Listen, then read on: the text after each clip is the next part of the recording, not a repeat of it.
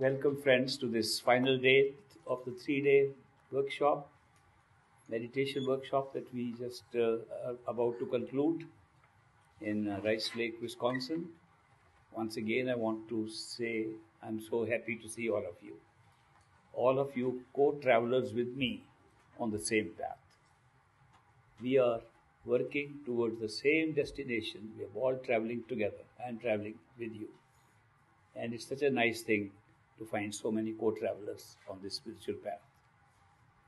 What we have done so far, if I were to give you a brief summary, is that on the first day, I mentioned to you the importance of finding the truth within ourselves and not outside. There is nothing worthwhile outside. You can get some useful material from hearing speeches, hearing lectures, hearing discourses, reading books, some information. But sometimes the information cannot match the inner experiences because many of the real spiritual experiences can never be described or penned down. And that is why people tell stories to describe them, just to fit in with our knowledge of the physical universe. That is why we do not get the real picture of what is inside. When we have real spiritual experiences, so many of our assumptions break down.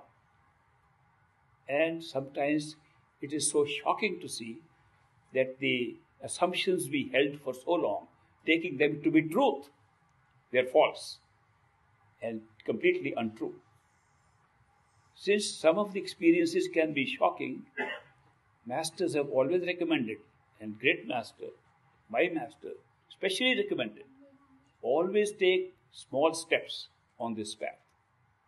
It's not necessary to hurry up. Because once you have been accepted by a perfect living master, your going back to your true home is guaranteed.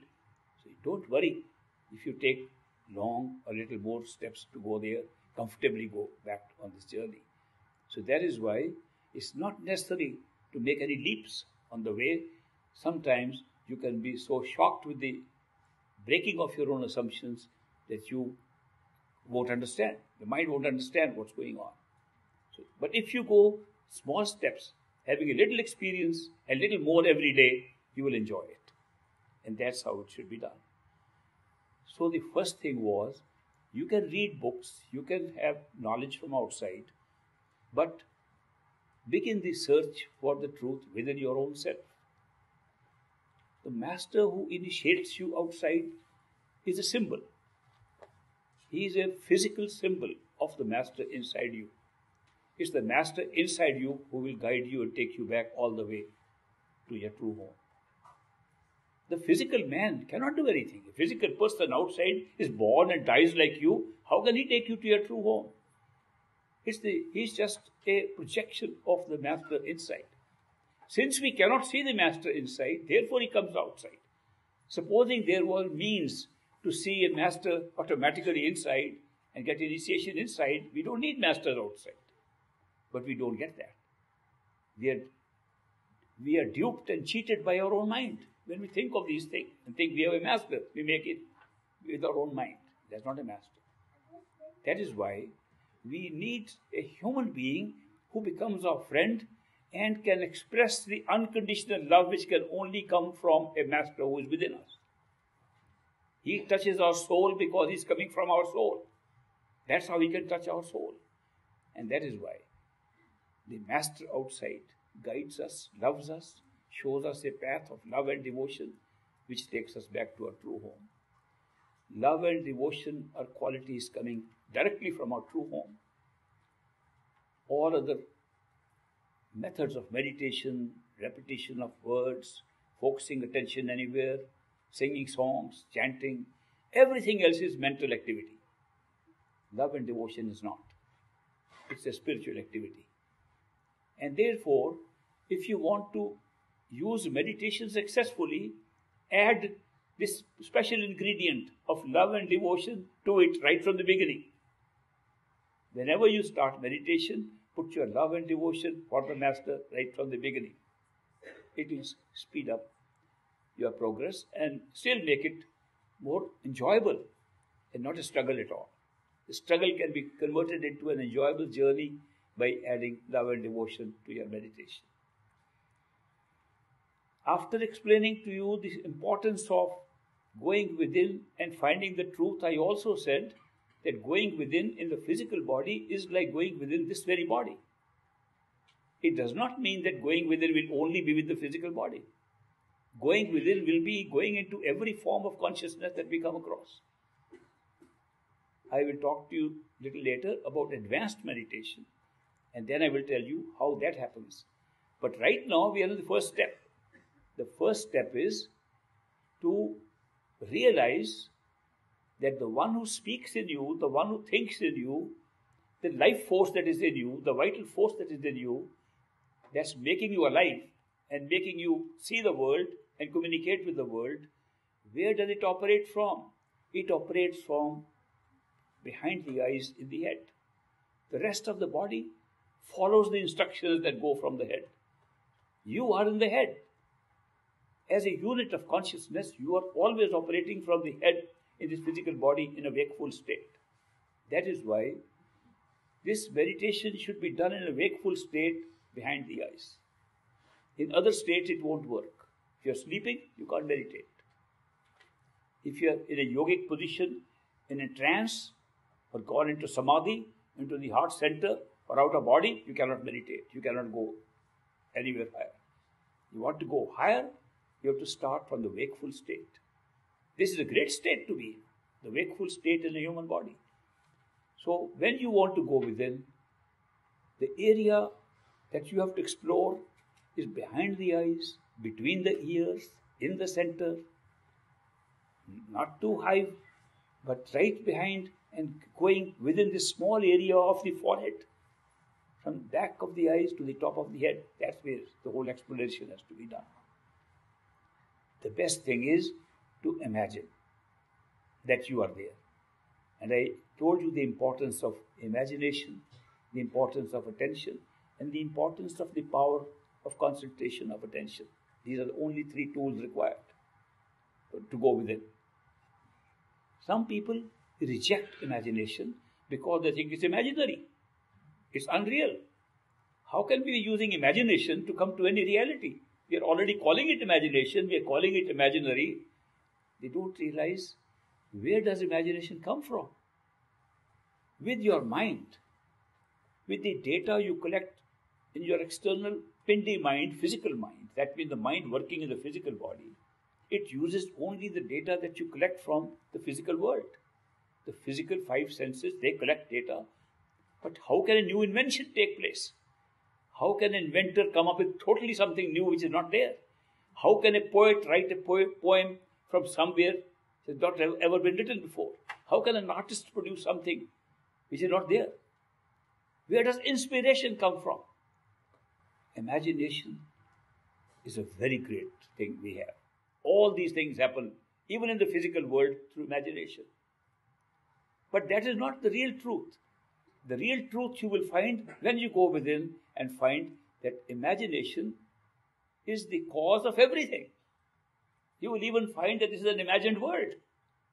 Imagination only becomes a reality when you have completely left this body and gone to the astral plane and see that imagination created the whole thing. Imagination is not imaginary thing. It looks imaginary when we are here.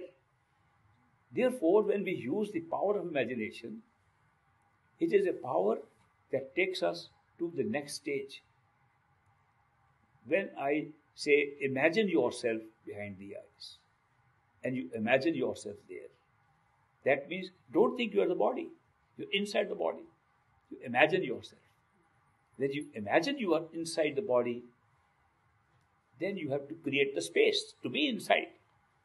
Since our concept of ourself is the body, so we enlarge the space inside. And I mentioned practice this. Practice enlarging the space, practice being in the center, practice being able to walk there, practice being able to do things, practice as if that's a big place. Or make it into a contracted place, a little meditation chamber, and sit in the center and meditate. You are meditating on your own self inside the head. If you can start there, that's a proper start. If you cannot do that, keep on practicing this first till you can be absolutely sure that you know that the body is not you, you are in the head, and these parts of the body around you, that you are occupying the body is not you. Then you can start meditation. Then the next step I mentioned is to repeat the words which are given as a mantra, given as Simran by a master, and the main use of the words is to keep on repeating with the mind so that you don't think of anything else. It's just to squeeze out the words of thought. It is just you put these words in, the stream of words going on in thought are squeezed out, and therefore you are able to stay there. Because the words of the mind are constantly associated with objects and persons outside. And when you think, you always think of things outside. So your attention is always outside. To bring the attention inside, you repeat these words to hold the attention there. But if a perfect living master has given you the words, they also serve a second purpose. And sometimes you will find a very important purpose of preventing any negative entity coming in, including the negativity of your own mind. If you don't have the words, the mind can easily make up even the image of a master and say, That's the master speaking to us. That's God speaking to us. That's the words of speaking to us. The mind can make up anything. But if you have those empowered words, charged words with you, and you use them, then the mind even cannot do that. If an image is there, you can try out. If an image is there of any kind, which pretends to be the master's image, you repeat the word, it disappears immediately. Cannot stand. Especially the eyes and the forehead of a master cannot be copied by the mind or any negative entity at all.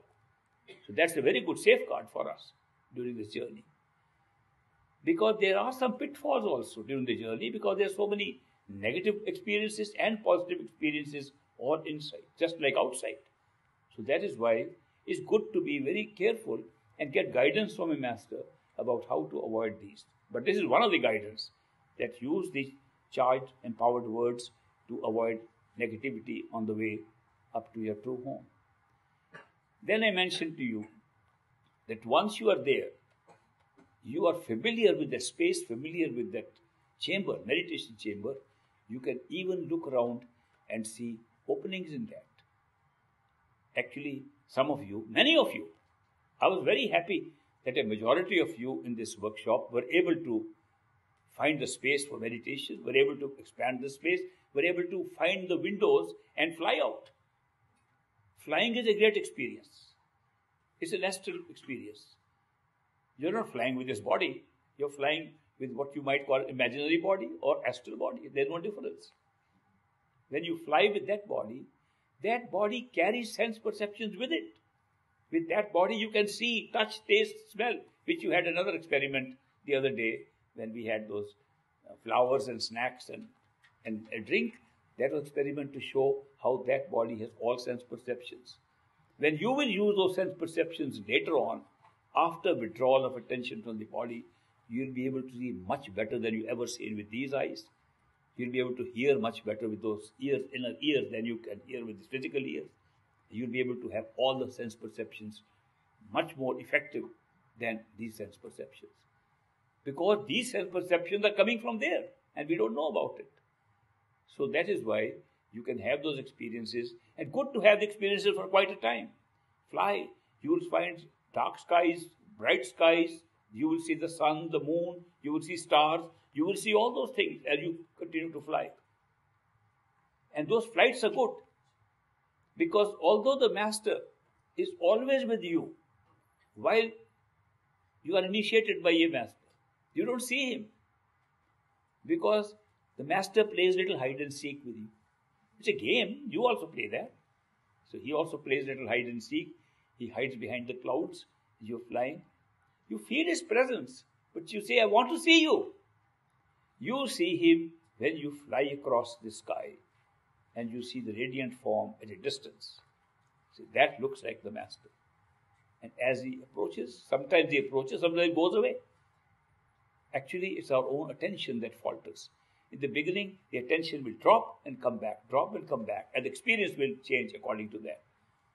Once you are able to stabilize that experience and able to see the radiant form of the Master at all times, He'll be your constant companion, visible form 24 7 throughout your life. And that's the point when you find loneliness ends completely. And a new friendship and a new companionship starts, which explores the universe, which explores the galaxies, which explores higher regions, and explores ultimately all levels of consciousness, and ultimately arrives at the true home. That relationship is never lost. But even when the Master is with us, because of our attention, we sometimes ignore where the Master is and look the other way. That is why there was a lady in the Dera, a very advanced lady. We used to, she was our neighbor, and therefore we knew more about her. But she was a very favorite Bibi of the great master. One day, she was crying in her little house. And uh, crying so much, we opened, we broke open the door to find out if she is okay. She was crying. And we didn't know what to do. We asked her to open her eyes, wake up, baby, what's happened? Some kind of hysterical fit she has got into. But she wouldn't open her eyes. We had to go to Great Master, wake him up, bring him there. And he came. He said, Bibi, where are you? She said, I am in hell. How did you go to hell? Just out of curiosity. I just wanted to see what it looks like. But uh, is anybody hurting you? No. Then why are you crying? Because I can't see other people being tortured the way they are. Why don't you repeat the names and come out? Why don't you think of me and come out? I can't, can't see you and I can't remember the names. Can you hear me? Now, yes, I can hear you. Follow my voice and come out. And she opened her eyes and put her head on his feet and said, Sorry. Now, here's the baby who had the great master with her. But she played little truant by curiosity out of curiosity, let me run and see what's happening. Why I'm bringing this to your notice is this can happen even when you are an advanced soul. So one has to be very careful in this path that be guided by the master. Stay close to the master. Once you manifest him, stay close. Don't say, now I have the master, now I can go anywhere I like. And master, you wait here, I'm just coming. Don't try that. Now, when you have these experiences, the real experience of going further than that, beyond the astral plane, does not happen by meditation with the physical body. That happens by meditation with the astral body. When you are able to familiarize yourself with your inner form, that means you are an imaginary form with the same shape actually as this one. It is so similar to this one that you will find that you are actually moving around, thinking, seeing things from the head of the inner self, not from this head. You'll forget this one. You'll not even know you have it. But when you have that, the process of going to a still higher level is to meditate within the head of the astral body. It's at that time, which is a little more difficult, but that's more advanced meditation. Then you want to go to advanced meditation, then you meditate with the inner body and the process is still the same the third eye of the inner body, behind the eyes of the inner body. When you can put your attention there, you'll forget your sense perceptions and open up yourself to a universal mind. And you'll discover so many truths about this universe. You'll find out the very nature of this universe, how it's being created. You'll find that it's not created out of matter. It's not created out of matter at all It's not created out of energy, It's created out of consciousness. It's the ability of consciousness and the ability of consciousness being pumped through the mind, which creates time and space, has created all the universes. You will also find out how many universes there are. This is a very tiny, small universe we are in. There's so many universes created. This experimentation with consciousness is a vast one. And that vastness can be experienced in its full glory at that level. You can have that by meditation with the inner self and going beyond. Then you'll forget that also. then you have to stay with the master who keeps on changing his form exactly as you change your form. In this physical world, outside, he is like a human being like you. Inside, he is in the astral form like you. In the causal form, he is formless like you. When I say formless, actually not formless. It's a it's a form that we think we have a form, we have consciousness and a form, but it's not like this body. You might say it's like a form of a an oblong light, piece of light, or something like that. And you feel you are like that only, the light is so filled up. One of the great experiences of uh, inner journeys is the amount of light you will see. This, these eyes can never even look at that light. But the inner eyes can see everything. You'll be able to such light you've never seen before. They look like darkness compared to that. The best you can look at this sun, it will look like darkness. The light of your own self, when you go beyond that into these, which you can only go with love and devotion for the master. At that time, all other methods fail. When the love and devotion joins you together with the master, you go and discover yourself as a soul. You discover your own soul has the light flashing of put as averagely like the 16 of the solar suns you see outside. We can't even see one sun. Look at it. Your own light is equal to 16 of these suns put together. And you can see that. So you will notice that these experiences that come gradually take them step by step, step by step. The possibility of getting all the experiences right up to totality exist in each one of us. It is the distractions, it is our attachments that are going on which are holding us here. Some people told me yesterday I don't tell jokes anymore in my that I forgot to tell any jokes. Now when I talked about this, I think I'll interrupt with a few jokes. Is it all right? Let me get them out of the way. I'll tell you a few. There was a Buddhist monk. The Buddhist monk was talking to his master, the abbot. He says, Master, is it all right for a Buddhist monk to use email? The master said, Certainly, son, you can use email so long as there are no attachments.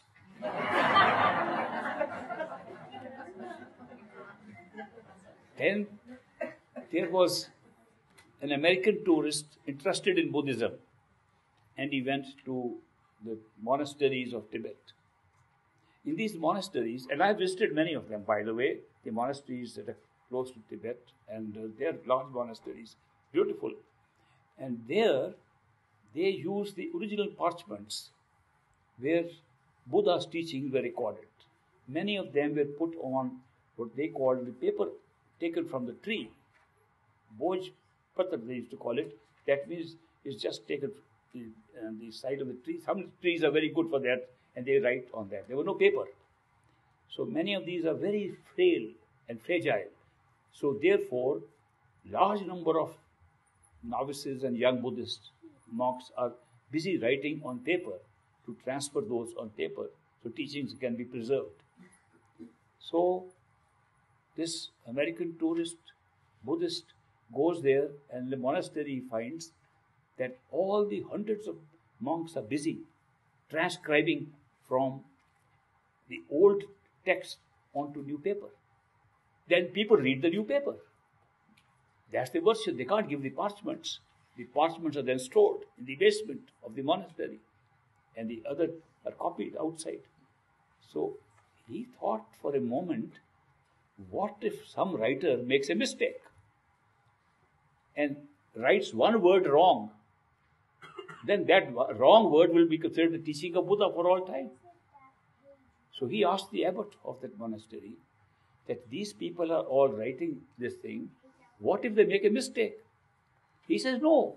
From time to time, we can check up from the parchments.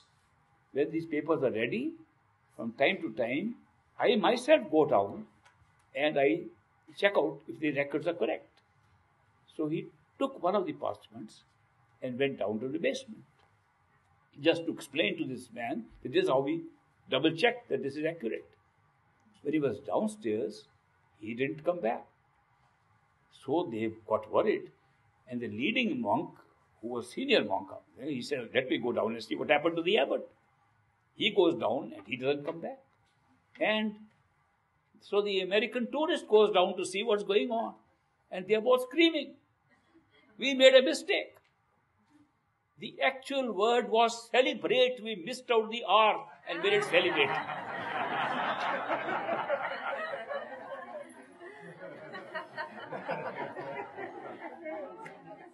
there is, there is also. what a big mistake.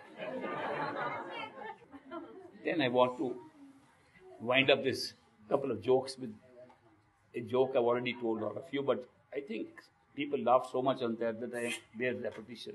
It's called the Jonathan joke because it originated from Jonathan. After I tell the joke, don't look at me, look at him. this is about a pastor of a church who had two parrots and he trained them. He trained them to speak holy verses from the Bible. He said prayers, and the parrots were given beads in their hands, so they would move the beads in their hands and say all kinds of nice prayers, holy words. One of the parishioners saw that. He said, What a great idea! That these parrots are continuously reciting holy things. What an atmosphere, holy atmosphere to create in the house. So he told the uh, pastor, is it a good idea if I also get two parrots and train them to repeat the verses? He says, a good idea. Go and buy two parrots. So the guy went and bought two parrots, brought them home. When he reached home, he found they were female parrots. And as soon as he opened the cage to get them out, they both said, We are hookers. You want to have a good time? he was horrified. What kind of parrots have you brought? So I went to the pastor and complained. He said, I got two parrots thinking that I'll train them to be holy parrots. This is the kind of words they are speaking. The pastor said, No, this is because somebody trained them to say these words. These parrots are trained, whatever you tell them, they repeat. So you can re- retrain them. And I'll tell you an easy way. Just like human beings are affected by company, the parrots are also affected by company. I'll lend you my parrots, the two parrots. They will, in their beads, keep on repeating the good verses. Your parrots will hear them, they will also learn them. So the pastor loaned his two parrots and they were taken there. When the two parrots were put there, he opened up his two female parrots. The female parrots, as usual, said, We are hookers, you want to have a good time? On that, one of the male parrots looks at the other and he says, Throw away your beads, our prayers have been answered.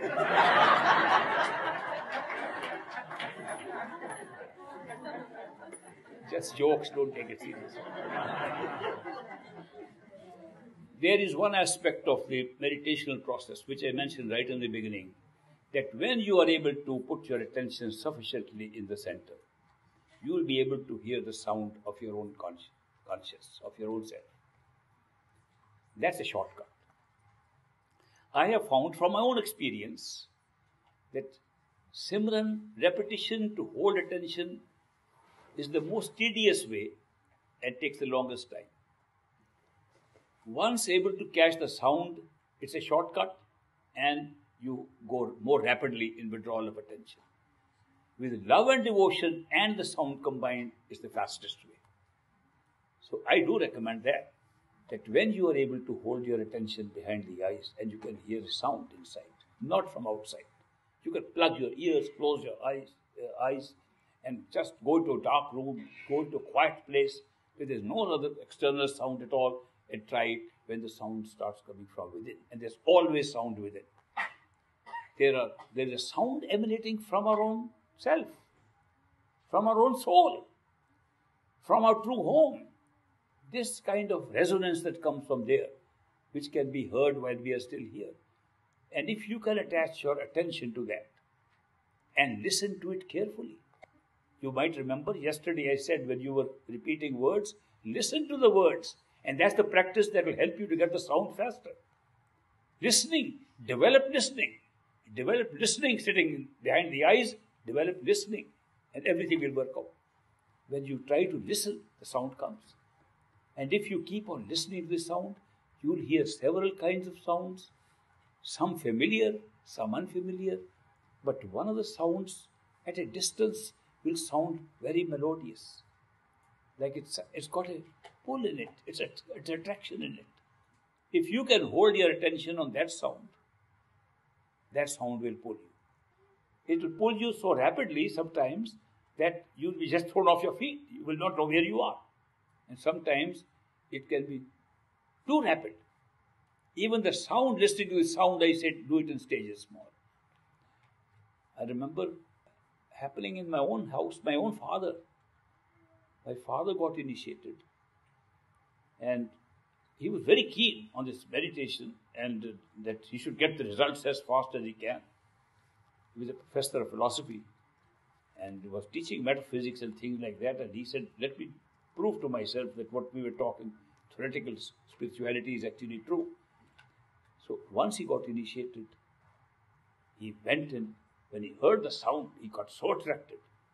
The whole potential began to pull. He said, I'm going to die. He opened his eyes and ran. He said, This is a terrible kind of meditation. It just kills you. I was almost dead. So he ran to his master, great master. He said, Master, what kind of meditation have you taught me? This Surat Shabda Yoga, this sound thing. The sound is so powerful. It killed me almost. I could feel that I was dying. And great master said, No, don't don't be in a hurry about it. Take it easy because the process is called dying while living. You do experience dying, but if you die slowly, slowly, you won't know. Then you will feel you're just losing the sensation in your feet, you're losing sensation in your legs, and gradually you'll know why you are still there. Then you will get inner experiences, and the body is still there. Then the body disappears, you have another body is right there, so you won't feel like this. It should be done slowly, not like this. In any case, don't get frightened. You know, I don't want to meditate anymore. Not that kind. He said, The way you I'm telling you, do it slowly. Then he said, Do you have faith that I have initiated you into this path? And if you die, physically die, who are you expecting to see? What are you expecting to see? I said, he said, I have faith in you that I will see you. He said, then why are you afraid of dying? Why are you afraid of dying artificially? Well, you're not afraid of dying physically and seeing me. I'll still be there even artificially. When you pull your attention, I'll be there. He said, apart from that, you are a teacher, professor, I'll use another method of convincing you. It's called statistics. Statistically, no person has died while doing meditation, not even a natural death. How come you are afraid? Let people die. Everybody dies. But we have no instance of a person dying while he was doing this kind of meditation. Even death, physical death, seems to be postponed while you're doing this. Therefore, don't worry about it. That then convinced him. And then my dad then proceeded further, and then he had good experiences.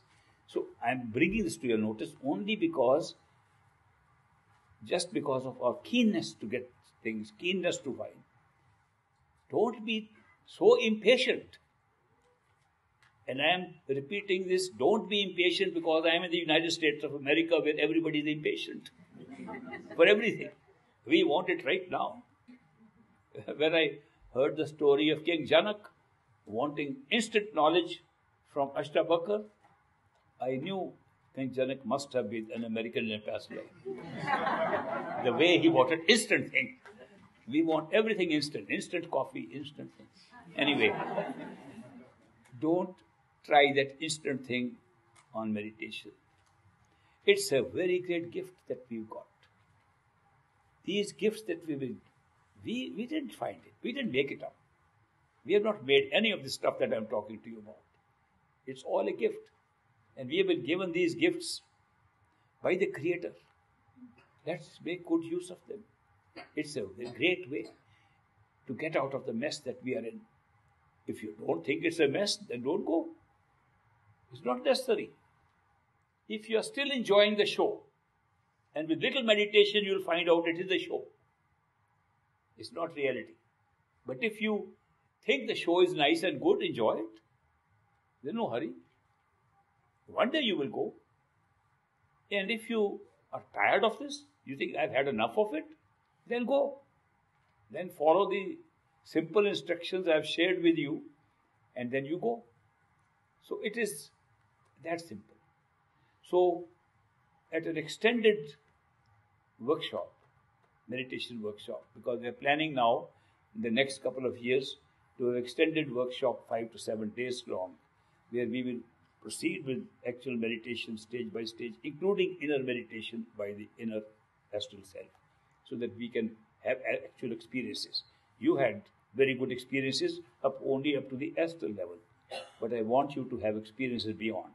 If you continue to have this practice when you go home, you'll be able to uh, make more progress and be more prepared and better prepared to come for that extended workshop where we will go further up and show you what else exists within us. Everything exists within us. The soul, Atma, immortal soul exists inside this body at this time. The Creator God exists inside. The Creator of the Creator, the Word exists inside. Everything is inside, and all are within our reach through simple methods that His perfect living masters give us. It's so wonderful. I am so happy that I was able to share these things with you. I am uh, finishing this uh, seminar at this time, this uh, workshop, uh, because there are some people who have asked for initiation or re-initiation. So I'd like to see them after this and see how many of them get approval from my master, and they'll be, I think, especially lucky. But we are all lucky. We are all lucky because we are all seekers. And one day or the other, are all going to go the same place. So I congratulate all of you for being here. Thank you very much for joining me in the meditation sessions and also in these talks and also in the nice lunch. Did you like the lunch that was served by this club? I'm very happy to hear that. Thank you very much. And I want to thank uh, uh, Jonathan, the president of uh, the Institute for the Study of Human Awareness, ISHA, and all his colleagues